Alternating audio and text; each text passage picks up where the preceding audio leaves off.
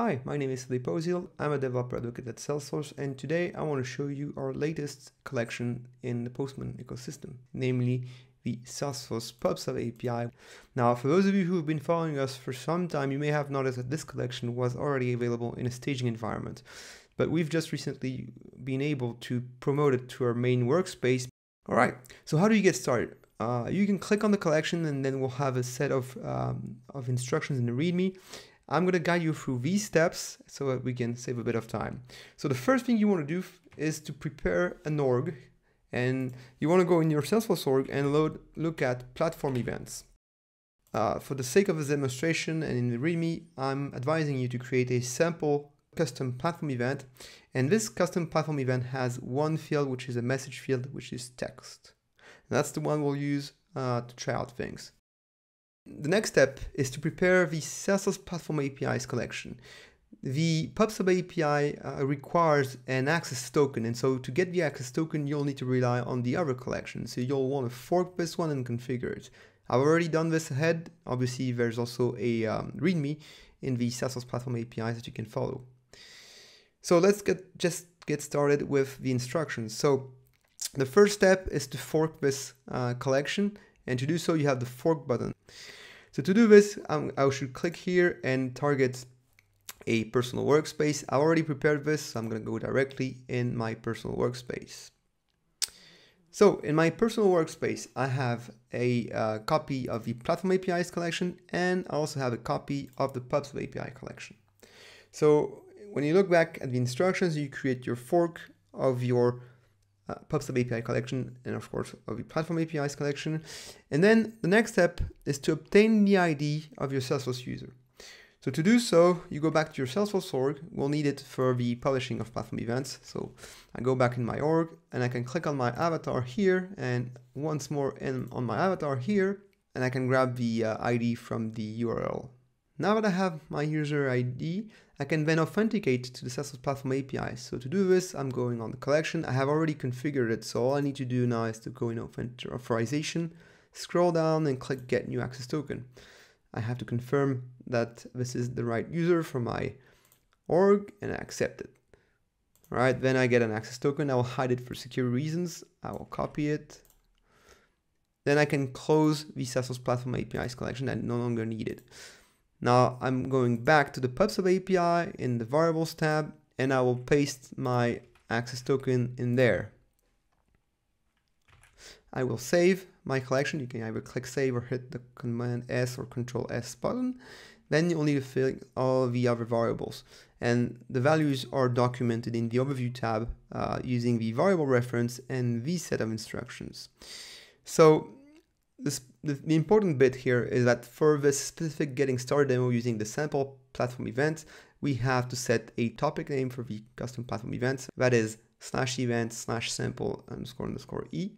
And then we also have to configure a sample payload. And to do that, we have a bit of JSON here that we need to copy.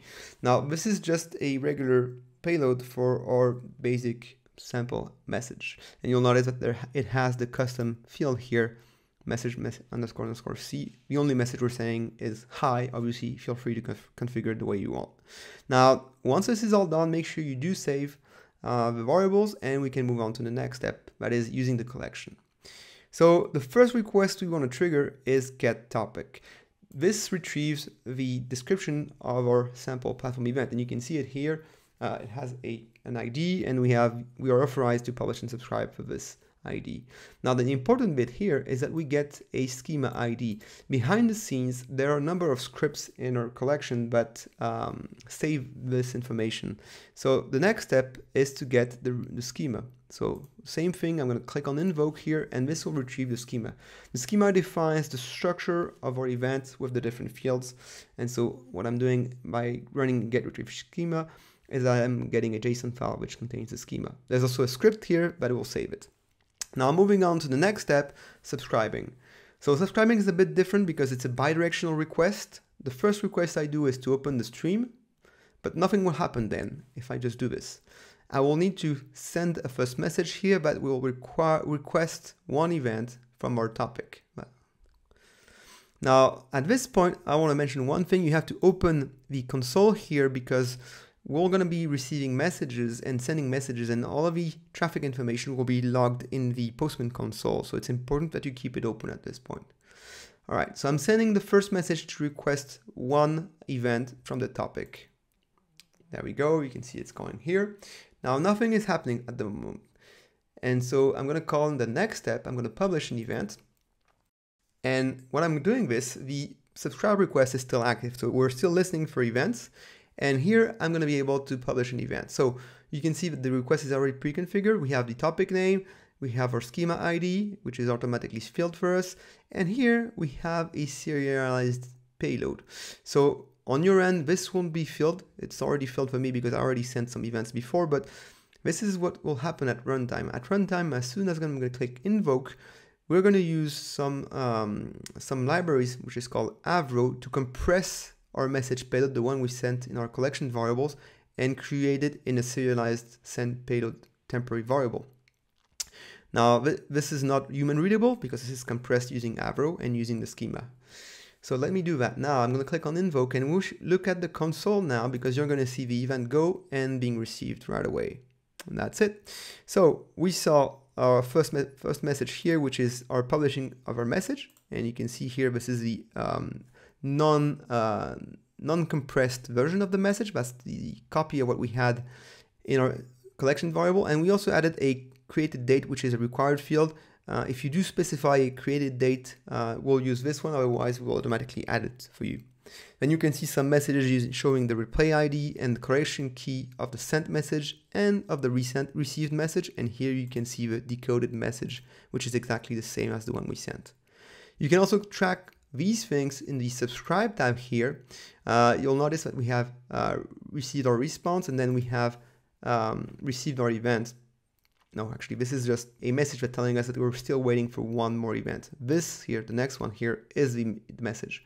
Now, you could take a look at the message here, but you're not going to be able to read anything because the payload here is compressed also with Avro.